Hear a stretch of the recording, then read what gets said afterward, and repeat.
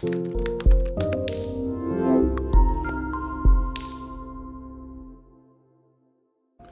everyone, this is Elijah from Financial Anatomy, the place where you can learn how to take control of your financial destiny.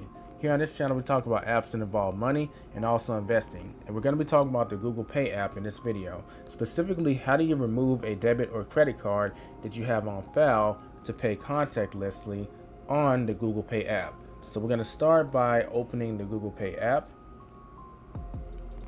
Then you'll be prompted to enter your PIN number, pattern password, or fingerprint. So you want to take care of that.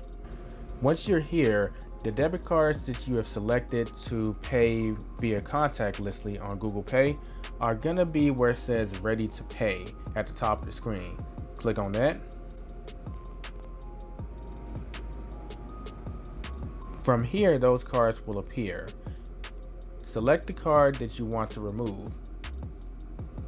Once you've selected the card, click on the dots in the top right hand corner and select remove payment method.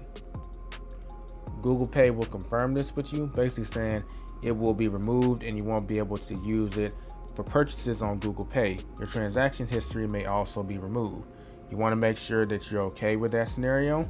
I am, so I'm going to click on yes, remove. And boom, the debit card has been removed. That in a nutshell is how you remove a debit card on the Google Pay app so there's no longer an option to pay with when it comes to contactless delivery.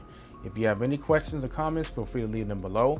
And if you're new to Google Pay and wonder how other things work, feel free to check out my Google Pay playlist where I go into details on other topics on this app. I'll catch you in the next video. Don't forget to get out there and take control of your financial destiny.